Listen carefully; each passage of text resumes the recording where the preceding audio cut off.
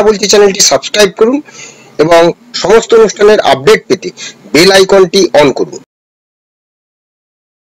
নমস্কার, বাংলা বলছি চ্যানেল থেকে বিপ্লব দাস বলছিলাম।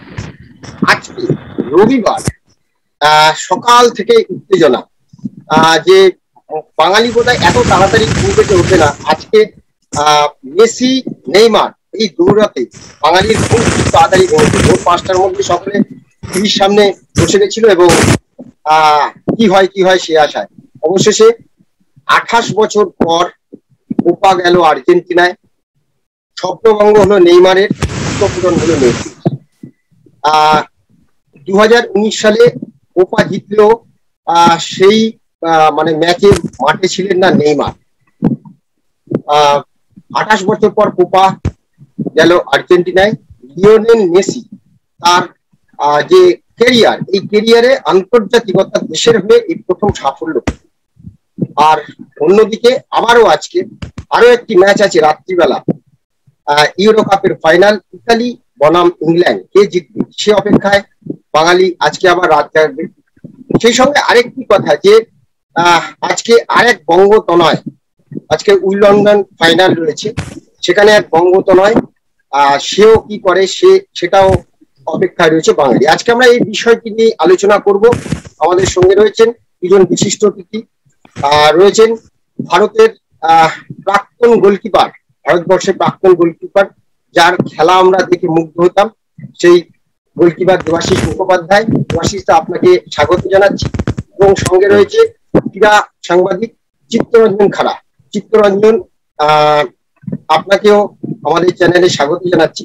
আমি দেবাশিসদের কাছে ম্যাচের পুরো টেকনিক্যাল পার্ট ম্যাচ নিয়ে বলবেন। তার আগে আমি একটি চিত্র কাছে আসব যে চিত্র। তুমি তো ক্রীড়া সাংবাদিক, আমরা দীর্ঘদিন একসঙ্গে কাজ করেছি। তো সেই জায়গাটা, এই যে বাঙালি আজকে সারাটা দিন, আজকে এই যে ফুটবল, বাঙালি সেরা তুমি ফুটবল। আজ সকালে হচ্ছে মেসি, নাইমার, বিকেলে আবার ইতালি, ইংল্যান্ড। ঠিক আছে? এই যে পুরো একটা মানে ফুটবল জ্বরে যেন কাঁপছে বাঙালি, এই পুরো বিষয়টা নিয়ে তুমি যদি একটু বলো। নিশ্চয়ই দেখো আহ, আজকে আহ, বলা হয় কালের আজকে একটা স্পেশাল সানডে মানে স্পোর্টস সানডে হ্যাঁ একটা হাই ভোল্টেজ সানডে বলা হচ্ছিল স্পোর্টস এর ক্ষেত্রে যে এরকম ভাবে এরকম দুটো মেজর ফাইনাল হ্যাঁ আহ, মানে দুটো বলব না আজকে তিনটে মেজর ফাইনাল ফুটবলকে অ্যাড করব একটা টেনিসকে অ্যাড করব। সকাল কাল থেকেই আর কি সবাই একটা প্রহর গুনছিল যে ভোরের বেলা সকালবেলা বাঙালির ঘুম ভাঙবে খুব ভোরে আজকে। আবার শুতেও যাবে আজকে অনেক রাতে। কারণ হ্যাঁ। কারণ শেষটা হবে ইউরোর ফাইনাল দিয়ে। এবং মাঝখানে সন্ধ্যেবেলা টেনিসের ফাইনাল আছে উইম্বলডন ফাইনাল জোকোভিচের ফাইনাল সেখানেও একটা হিস্ট্রি থাকছেন। রাফাল নাদাল আর ফেডারারকে ছোঁয়ার হাতছানি জোকোভিচের সামনে। কিন্তু শুরুটা হলো কিন্তু বাঙালি কিন্তু যে আহ, আশা নিয়ে টিভির সামনে বসেছিল আজকে সকালবেলায় সেই ইতিহাস মারাকানায় হলো। অবশ্যই আর্জেন্টিনা এবং আমরা জানি যে ব্রাজিল আর্জেন্টিনার সমর্থন এই বাংলাদেশ এপার বাংলায় ওপার বাংলায় কি মারাত্মক উন্মাদনা তৈরি করে? কোনো ব্রাজিল আর্জেন্টিনা ম্যাচ থাকলে সে বিশ্বকাপ হোক বা কোপা আমেরিকা হোক বা যে কোনো জায়গায় ব্রাজিল আর্জেন্টিনা মুখোমুখি হলে। সেটা গত দুদিন ধরে দেখেছি যে বাংলাদেশে আমরা দেখেছি কি উন্মাদনা, সেখানে রীতিমতো মানে ঝামেলা বেড়ে গেছে। অনেকে আহত হয়ে, মারামারিতে আহত হয়ে হাসপাতালে ভর্তি হয়েছে। ব্রাজিল আর্জেন্টিনার এই দৈরাতে উত্তেজনা। তো আজকে সকালবেলায় আমরা দেখলাম যে ব্রাজিল আর্জেন্টিনা একটা দল শেষ হাসি হাসলো। একটা দল ইতিহাস নিশ্চয়ই স্বপ্নভঙ্গ sense, আহ, মানে মেসি এবং নেইমারের মধ্যে যে দৈর্ঘ্যটা বলা হচ্ছিল আর্জেন্টিনার ফাইনালে সেখানে নেইমারের স্বপ্নভঙ্গ হলো কারণ দুজনেই কিন্তু মেসি আর নেইমার তাদের প্রথম কোপা জেতা এবং সামনে দাঁড়িয়েছিল যদিও মেসির ক্ষেত্রে একটু পারফর্মটা অন্যরকমের ছিল যে মেসির আহ, প্রথমবার তার এত সাফল্য এত ক্যাবিনেটের ট্রফি ক্লাবের হয়ে এত ট্রফি দেশের হয়ে কোনো আন্তর্জাতিক ট্রফি ছিল না। সেই জায়গায় তার কাছে একটা বলা যায় ফাইনাল ফ্রন্টিয়ার নিজেই যেন একটা বিছিয়ে দিয়েছিলেন যে এটা এবারেই পারতে হবে না। হুম, বা নাও অন এভারের মতো। তো সেখানে প্রথম থেকে মেসি এবার দেখিয়ে দিয়েছিল কতটা মরিয়া ছিলেন একটা ট্রফি জেতার জন্য এবং আজকে ব্রাজিলকে হারিয়ে আর্জেন্টিনার ট্রফি জিতলো এবং ডি মারিয়ার গোলে মেসির হাতে উঠল সেই বহু কাঙ্ক্ষিত ট্রফি ও মহামূল্যবান ট্রফি যেটার জন্য এত দিনের অপেক্ষা মেসির তো স্বপ্ন পূরণ হলো সাক্ষুক্তি হলো যে মারাকানায় সাত বছর আগে বিশ্বকাপ হারিয়েছিল মেসি ফাইনালে উঠেও সে মারিও গোটসের গোলে মানে মেসির মুখের সামনে থেকে বিশ্বকাপটা ছিনিয়ে নিয়ে যায় জার্মানি। তো সেই মারাকানাতেই কিন্তু আজকে মেসির সাবমোচন হলো ডিমারিয়ার গোলে। এবং সেখানে কিন্তু আর্জেন্টিনা মারাকানা একটা ইতিহাস করল বলা যায়। আঠাশ বছর পর সেই তিরানব্বই শেষবার কোপা জেতার পর তারা ট্রফি জিতলো। আর আমাদের বাংলার কথা যদি বলি, যে আজকের যে অ্যাম্বিয়েন্সটা ছিল সকাল থেকে যে টিভির সামনে বসে পড়া, সেখানে কিন্তু বাঙালি যে দুর্ভাগ হয়েছিল, সেখানে ব্রাজিল সমর্থকদের একটু দুঃখের দিন।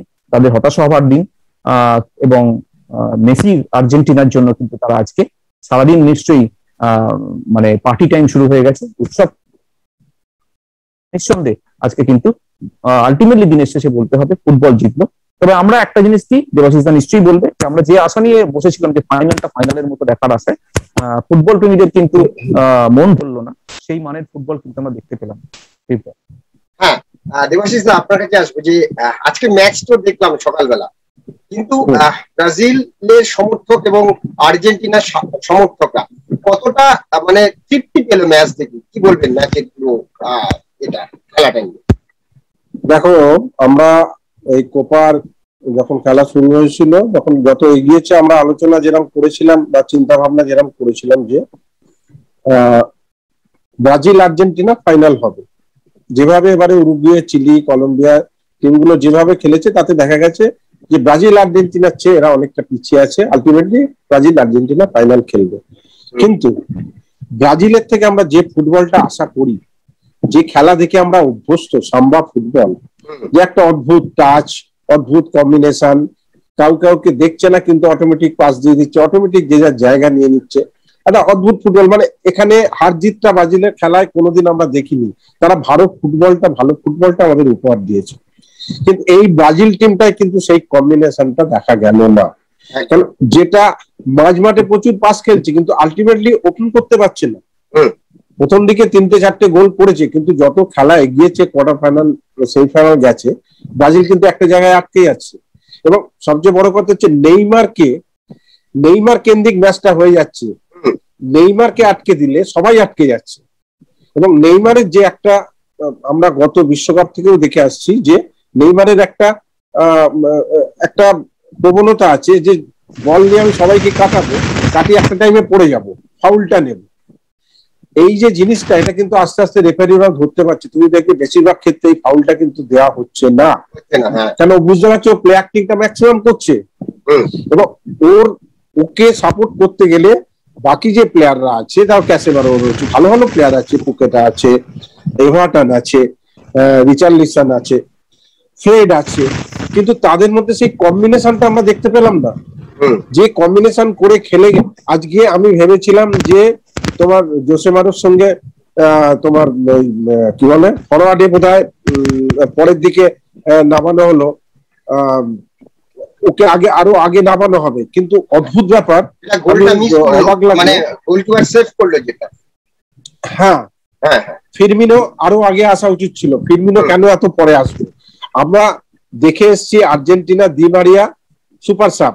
তুমি দেখবে দিমারিয়া লাস্ট পাঁচটা ম্যাচে চার পাঁচ ছটা ম্যাচে একটা প্রথম থেকে খেলেছে। বাকি কিন্তু সবই সাবস্টিটিউট হিসেবে নেমেছে। এবার নেমে প্রচণ্ড হঠাৎ করে অ্যাটাকিংটা বেড়ে গেছে খেলায় ছন্দ চলে এসছে হয়েছে। আমি বরাবর বলে এসছি দিমারিয়া প্রথম থেকে খেলবে। কিন্তু অনেকের সঙ্গে আমার তর্ক হয়েছে। অনেকে বলছে না দিমারিয়া সুপার সাব ওকে প্রথম থেকে নামালে রেজাল্ট পাবে না তুলে নিতে হবে। কিন্তু আজকে কিন্তু দিমারিয়া প্রমাণ করে দিল। প্রমাণ করে দিমারিয়া দিমারিয়া দিমারিয়া কিন্তু ফার্স্ট ইলেভেনের প্লেয়ার এবং যে গোলটা হয়েছে সেটা রেনানের ফল থেকে হয়েছে। একটা লম্বা বল বাড়িয়েছিল রড্রিগেজ তোমার মাঝমাঠ থেকে রড্রি ডিপল। বলটা কিন্তু একটা ড্রপ করেছে ড্রপটা আমি জানি না, মাঠ নিয়ে প্রচুর সমস্যা হয়েছে এবারে কোপায় অনেকে অনেকে অবজেকশন করেছে, অনেক কোচেরা বলেছে এই মাঠে ভালো ফুটবল হয় না।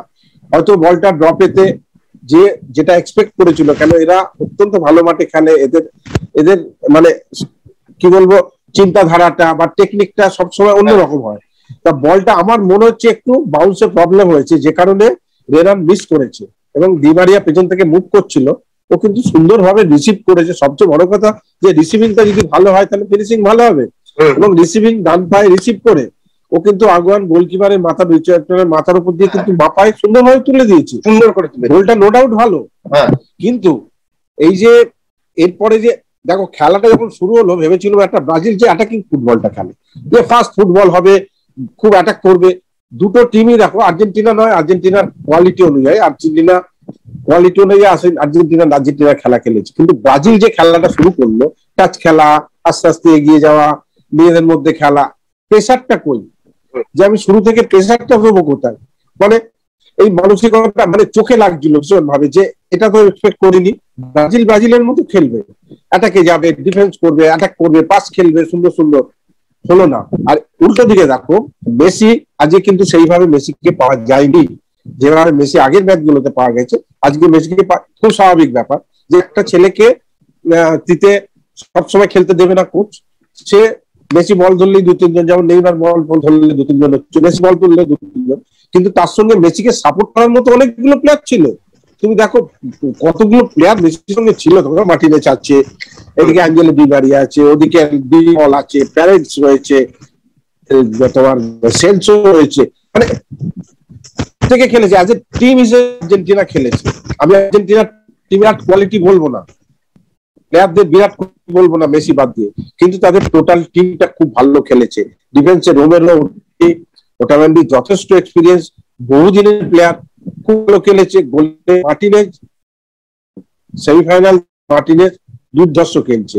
আজ দুটো সেভ করেছে রিয়েলি দারুণ। হাতে মেরে দিয়েছে, কিন্তু অত ক্লোজ থেকে হাতে মারলে কুইক রিফ্লেকশনে সেটাকে পাঞ্চ করা বা ডিফ্লেক্ট করানো, এটাও একটা মানে দারুণ দিক। তো সেখানে আর্জেন্টিনা সবগুলো আমি প্লাস পয়েন্ট এই কারণে যে আর্জেন্টিনা এক গোলের লিডটা যে নিয়ে যেতে পেরেছে, এটাও তো একটা strategy last ten fifteen minute বাদ দিয়ে প্রেসারটা দিল। যে প্রেসার অনেক আগে আসে, সেই প্রেসারটা লাস্ট টেন ফিফটিন মিনিটস হলো। এটা টেন ফিফটিন মিনিটস এর প্রেসার নেওয়ার মতো আর্জেন্টিনার স্ট্র্যাটেজি যথেষ্ট ভালো ছিল এবং সেটাই হয়েছে। আলটিমেটলি একটাই চান্স পেয়েছিল, আর কোনো চান্স পায়নি আর যেটা তোমার অফসাইডের জন্য গোল দেওয়া হলো না। অফসাইড অফসাইড এখানে কিছু করার নেই। লাইটম্যান ফ্ল্যাগ তুলেছেন। এখানে তোমার ভারেরও প্রশ্ন নেই, কেন ডাইরেক্ট লাইটম্যান এখানে দিয়ে দিয়েছে। তো এটা কিছু করার অনেকে অনেকে এখন বলছে যে ঠিক মতো খেলায়নি, অমুক তমুক। এইসব কথাগুলো এখন আসে না। কেননা ব্রাজিল নিজের জায়গায় খেলেছে। আর্জেন্টিনা ব্রাজিলে গিয়ে খেলেছে যেটা চিত্ত একটু আগে বলল যে এই মারাকানায় তো দু হাজার চোদ্দ ফাইনালে এক গোলে হেরে এসছে। আজকে সেই মারাকানা থেকেই কোপাটা নিয়ে গেল এবং মেসির আবেগটা চোখে পড়ার মতো। আজ খেলা শেষে মেসির যে আবেগটা দেখলাম হ্যাঁ হ্যাঁ। মানে সত্যি ভাবা যায় না অসাধারণ।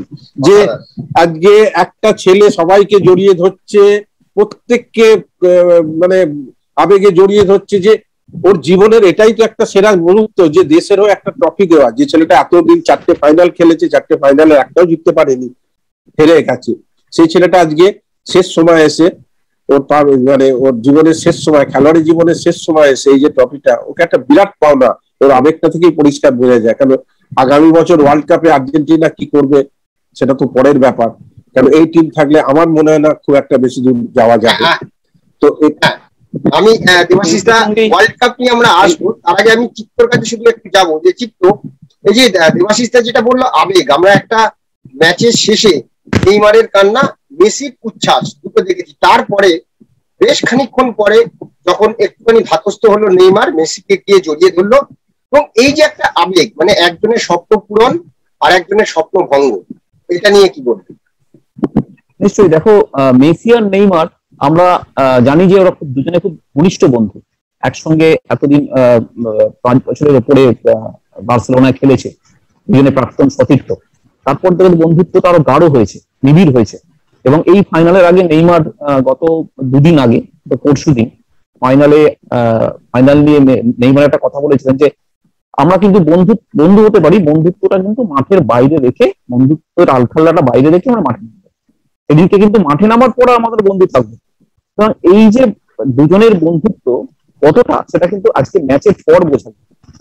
দেখো ওই যে একটা ছবিতে বোঝা গেল যে নেইমার কাঁদছে মেসিও কাঁদছিল চোখের জল সেটা কিন্তু আনন্দাস্তি এরপরে দুজনে আলিঙ্গন করল দুজনে একসঙ্গে আলিঙ্গন করল বন্ধুত্বটা কতটা গাঢ় এটা কিন্তু বোঝা গেল। মাঠের মধ্যে নব্বই মিনিটের লড়াইয়ে বন্ধুত্বটা মানুষের আলখাল্লাটা খুলে রেখেছে। তখনই খেলাটা শেষ মাসি হয়ে গেছে। খেলায় তো একটা দল জিতবে একটা হারবে সেটা তো আছেই। তারপরে কিন্তু বন্ধুত্বটা চিরকালীন। এবং সেটা কিন্তু দুজনকে দেখিয়ে দিয়েছে এবং একজন জিতেছে একজন হেরেছে। নিঃসন্দেহে একজন ইতিহাস করেছে একজনের স্বপ্ন পূরণ হয়েছে একজনের স্বপ্ন ভঙ্গ হয়েছে। সেটা থাকবেই। কিন্তু আলটিমেটলি দিনের শেষে খেলোয়াড়রা তো মানুষ বন্ধুত্বটা থাকবে এই জায়গাটাই কিন্তু আবেগ উচ্ছ্বাস সবকিছু কিন্তু এখানে মিলেমিশে এক এক হয়ে যায়। সুতরাং এইখানেই কিন্তু সাফল্য। সুতরাং একটা ফুটবল সবকিছুকে পারে জুড়ে দিতে সবকিছুকে উম, মানে একসঙ্গে বন্ধনকে একটা বলো বন্ধুত্বের বন্ধন বলো একটা আবেগের মাধ্যমে সমস্ত কিছুকে কিন্তু একটা অটুট সম্পর্ককে কিন্তু একটা আরও জমাট করে দিতে পারে। তো সেই জায়গায় কিন্তু ফুটবল কাজ করে, সব দিক দিয়ে, একটা জীবনের নাম বলতে গেলে। সেই জায়গায় কিন্তু আমরা দেখলাম আজকে, এই যে নেইমার বা মেসির এই যে একজনের সাফল্য একজন ব্যর্থতা। নিঃসন্দেহে, হয়তো পরবর্তীকালে পরের টুর্নামেন্টে হয়তো নেইমার। তবে আমি একটা বিপ্লব, একটা আমি প্রশ্ন করতে দেবাশিস যে আজকে স্কালোনি লিওনেল স্কালোনি এবং পিতে দুই কোচের যে লড়াইটা ছিল স্ট্র্যাটেজি নিঃসন্দেহে কোনো সন্দেহ নেই কারণ কিন্তু স্ট্র্যাটেজিতে টেক্কা দিয়ে গেছেন পিতেকে। একটা জিনিস দেখুন যে, পিতে অদ্ভুত ভাবে ফাইনাল বলে কম্বিনেশন সে ভাঙলো না, প্রথম একাদশ। কিন্তু স্কালোনি চেঞ্জ করল প্রথম একাদশ। এবং সবচেয়ে বড় ব্যাপার, তার মধ্যে ডিমারিয়াকে ফার্স্ট ইলেভেন নিয়ে আনলো মানে দুটো, দুজন ফুল ব্যাক চেঞ্জ করল। তো সেই জায়গায় তিতে কিন্তু নব্বই মিনিটে দেখাতে পারল না যে তার কোনো প্ল্যান বি আছে। তো এই যে তিতেকে নিয়ে আপনি কি মনে করেন যে ব্রাজিল টিমকে গত পাঁচ বছর ধরে কোচিং করাচ্ছেন এই জায়গায় কোনো চেঞ্জ একটা পজিটিভ স্ট্রাইকার তিনি দাঁড় করাতে পারেননি গত পাঁচ বছরে। নেইমার নির্ভরতা দল।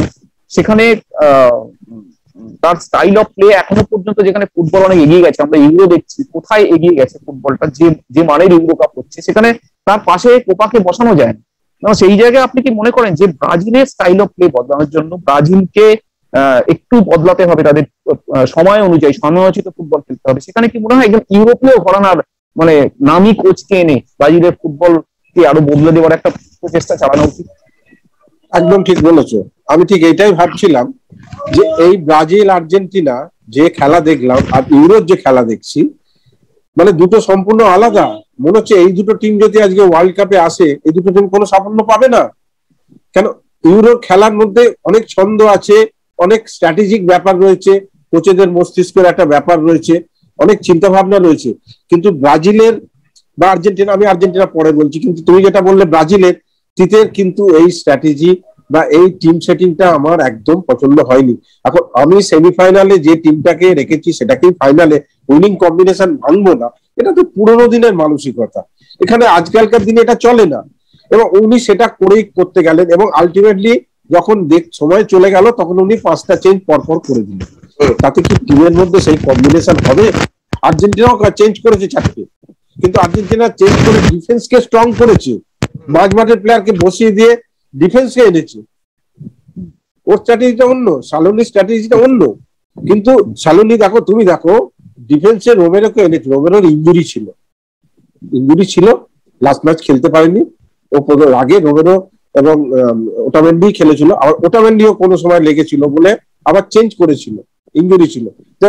সালোনি কিন্তু চেঞ্জ করে করে খেলাচ্ছে চেঞ্জ করে করে খেলাচ্ছে। এই যে যে আমি হট করে একটা প্লেয়ারকে আজকে নতুন আনলে, তার পক্ষে অ্যাডজাস্ট করতে যে অসুবিধা হবে, সেটা কিন্তু সালোনি করেনি। সালোনি দীর্ঘ এই কোপাটায় তুমি চেঞ্জ করে করে টিমের মধ্যে প্রচুর চেঞ্জ করেছে। করেছে বলে আজকে ফাইনালে পাঁচটা চেঞ্জ করে টিমটাকে এই জায়গায় দাঁড় করাতে পেরেছে। আজকে তো সাকসেস।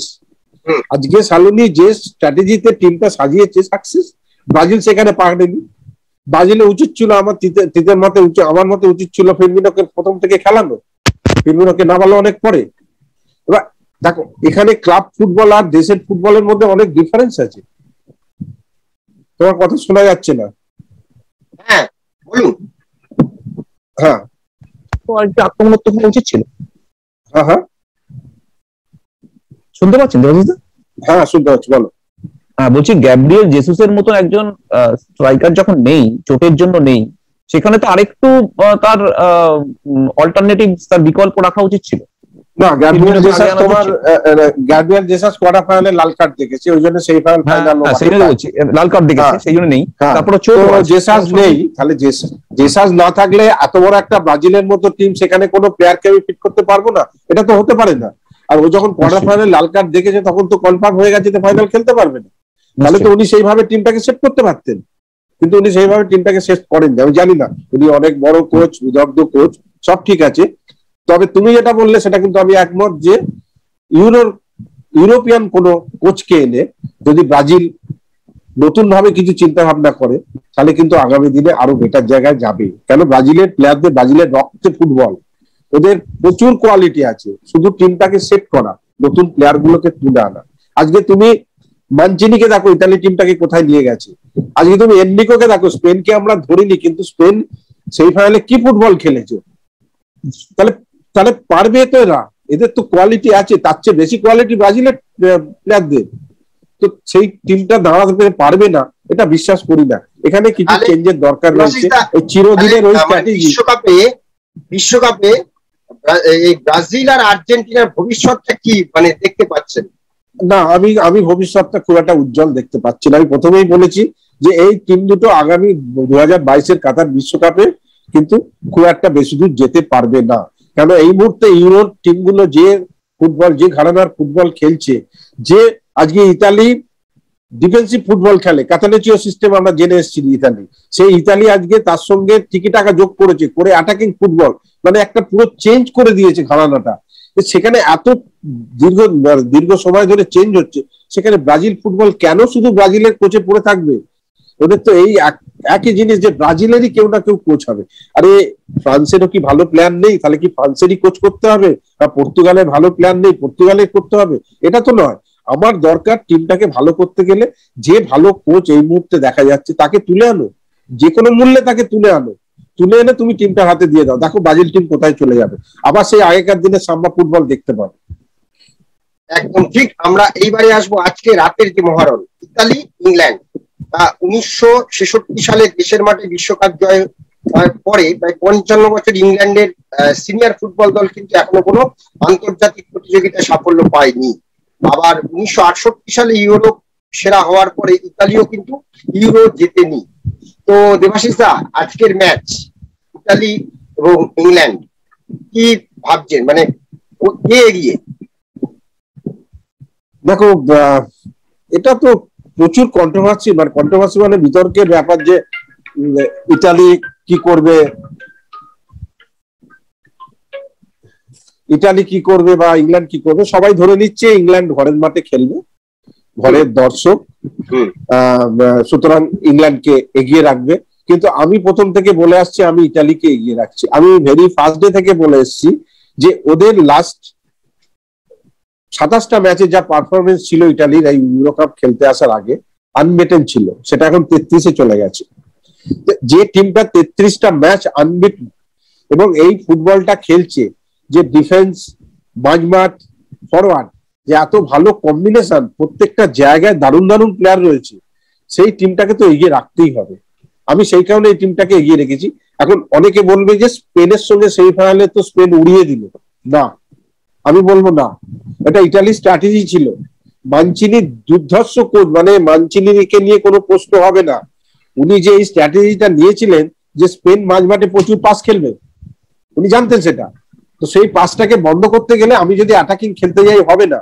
আমাকে ডিফেন্স করতে হবে। এবং দেখো সেই ডিফেন্স করতে করতে কিন্তু গোলটা করে দিল ঠিক। ফার্স্ট গোলটা ইটালি করল।